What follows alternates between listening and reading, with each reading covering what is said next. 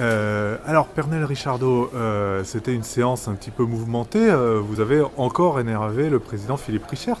À chaque fois qu'on ne va pas dans le sens du président Philippe Richert, on l'énerve. Donc forcément, oui, je l'ai énervé aujourd'hui.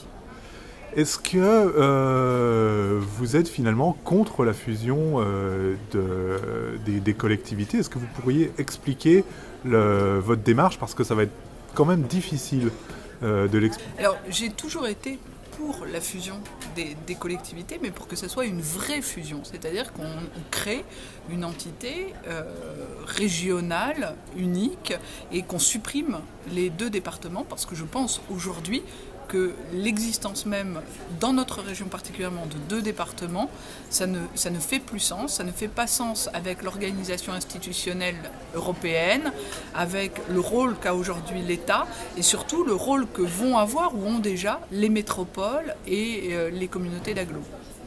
Et alors, est-ce que euh, pour autant, on ne pouvait pas profiter de, de, l'allant initié euh, par, par cette démarche de conseil je pense que non, parce que, un, les, discussions ne sont pas assez abouties, qu'on ne sait pas ce que va donner l'acte 3 de la décentralisation, et que pour l'instant, le projet tel qu'il a été écrit, et la démocratie c'est aussi les écrits, eh bien c'est un empilement de structures, on n'est pas du tout dans la simplification, et où au mieux un flou euh, complet sur qui va faire quoi, où vont se situer euh, les, institutions, les collectivités et euh, quelle organisation il va y avoir entre, entre les différents acteurs du territoire.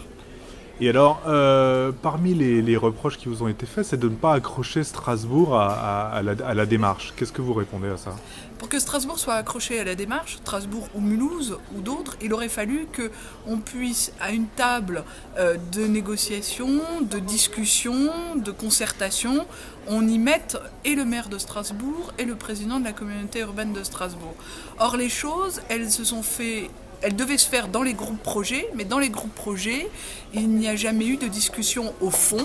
Il y a eu des discussions de présentation, de grandes conférences institutionnelles. On nous a donné des cours de droit constite, euh, très bien, mais on n'a jamais euh, utilisé et discuté avec le président de la CUS ou avec le maire de Strasbourg comme des partenaires d'une organisation générale future c'est Philippe Richert lui-même, par ses démarches de marchandage, de, euh,